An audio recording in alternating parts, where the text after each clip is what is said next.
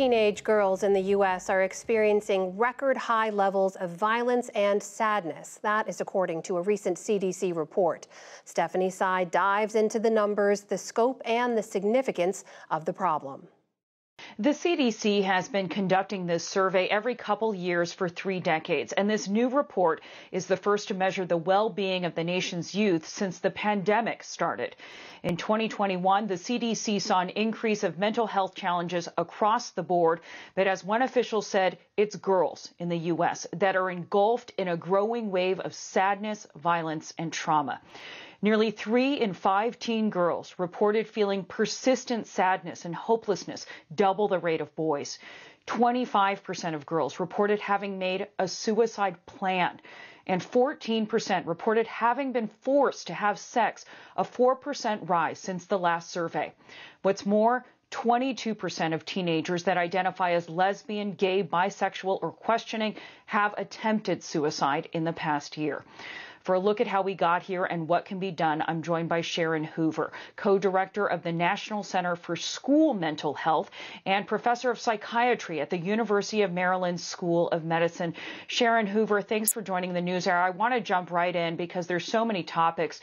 The decline of youth mental health goes back at least a decade, but the numbers of girls reporting how much they're suffering really stands out in this report. Why do things seem to be getting worse for teen girls? That's right. I mean, I have to say, we are not surprised to see increases in mental health challenges. We have seen these trends happening for the past several years, as you said. But it was quite surprising in some respects to see the stark gender difference that we saw. And, and as you said, this is the first national look that we've had since the pandemic. And so it gives us a bit of insight into maybe how boys and girls and different folks have experienced the pandemic differently. Why are we looking at this gender gap? Why are girls suffering so much?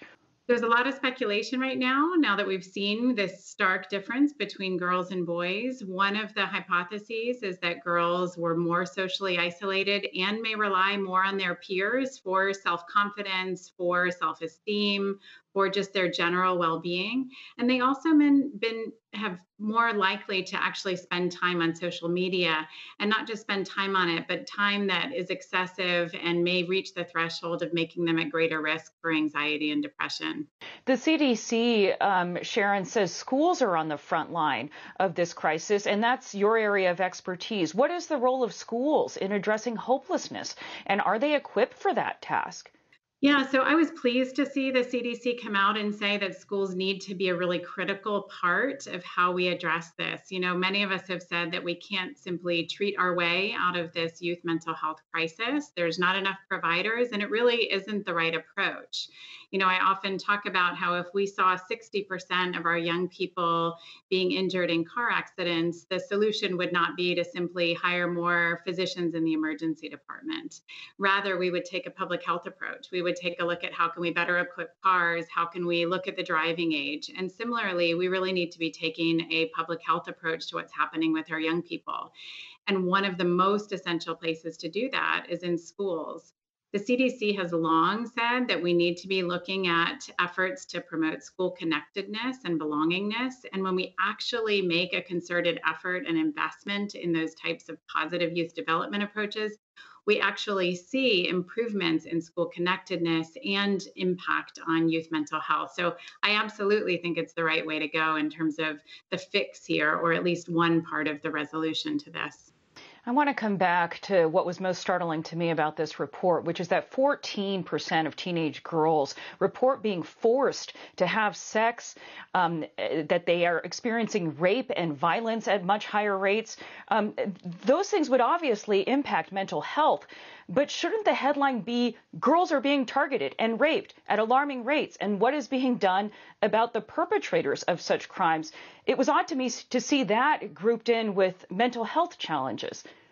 Right. Well, we know the two are related, of course, as you said. If you're experiencing sexual assault, you're at much greater risk for mental health challenges. But absolutely, there needs to be a headline just calling out what's happening to our young girls.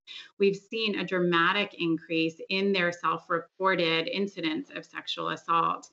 And it is startling. The numbers are, are really concerning. And there are measures that can be put in place, again, many of those at the school level to help our young people navigate relationships and to really prevent some of the sexual assault that we're seeing. The numbers are striking. Finally, uh, Sharon, this CDC report enforces previous research that has shown how lesbian, gay, and questioning youth are reporting substantially worse well being, including also being more likely to experience violence. Given how there are school boards that are literally fighting over gender identity curriculum, are they even less likely to get their mental health needs met today?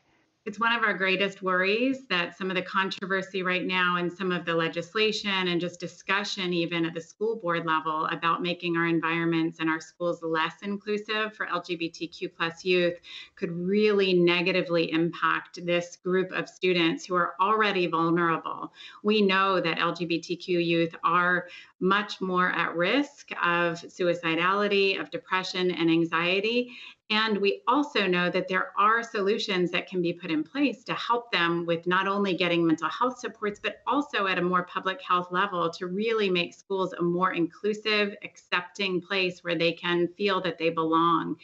And we're very concerned about some of the legislation that we're seeing, some of the actions by school boards to make their schools less inclusive, which we feel and, and the data would support puts them at greater risk of mental health concerns. Sharon Hoover, with the National Center for School Mental Health. Thank you so much. Thank you so much.